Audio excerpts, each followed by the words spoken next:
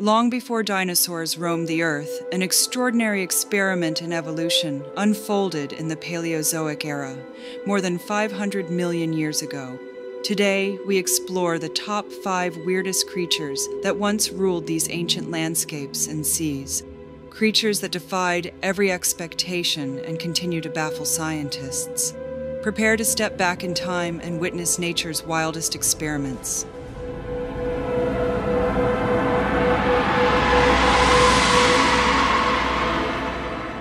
Our journey begins in the Burgess Shale with Hallucigenia, a tiny, worm like creature only a few centimeters long that looks like it was plucked from a hallucination. When first discovered by Charles Walcott in 1911, its strange arrangement of spines and tentacle like appendages led to a chaotic interpretation.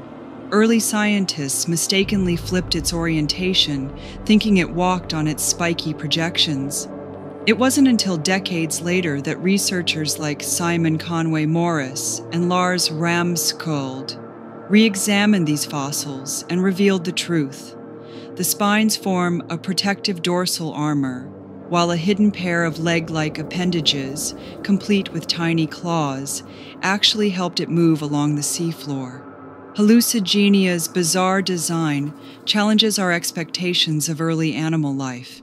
Its unique body plan not only offers a window into the evolutionary experimentation during the Cambrian explosion, but also hints at the deep ancestral ties to modern velvet worms and even tardigrades. Every fossil we uncover tells a tale of innovation and the unpredictable paths evolution can take. Next, we encounter Opabinia, a true original from the Middle Cambrian. With its five prominent stalked eyes arranged in a semicircular pattern. Opabinia appears almost alien. More striking is its long, flexible proboscis, ending in a claw like structure, an appendage that likely helped it seize elusive prey from the muddy seafloor. Initially, its perplexing anatomy defied classification. Paleontologists puzzled over its backward facing mouth and oddly arranged body parts, sparking debates about whether it belonged to any familiar animal group.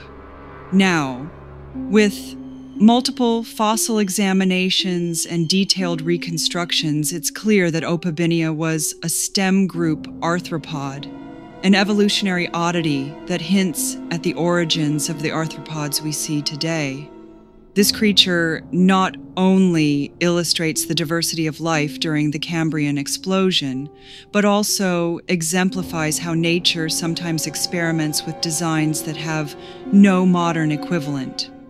Moving forward in time to the Permian period, our third marvel is Helicoprion, the prehistoric shark like fish famous for its spiral buzzsaw jaw.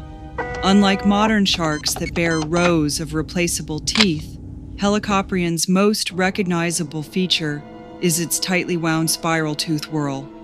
For decades, scientists debated where this bizarre whorl belonged. Was it mounted on the snout, the lower jaw, or even tucked inside the throat? Recent studies, using CT scans and careful morphometric analysis have largely settled the debate.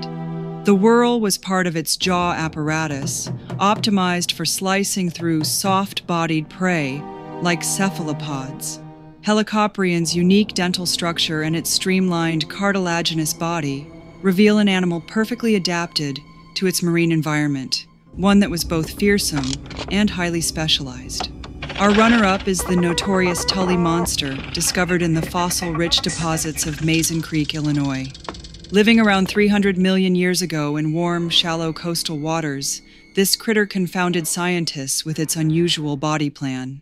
With a long proboscis tipped with claw like structures, paired eye stalks that could rotate for a wide field of vision, and a segmented, soft body ending in a pair of tail fins, the Tully monster has been described as both bizarre and enigmatic. For decades, its classification remained an unsolvable puzzle.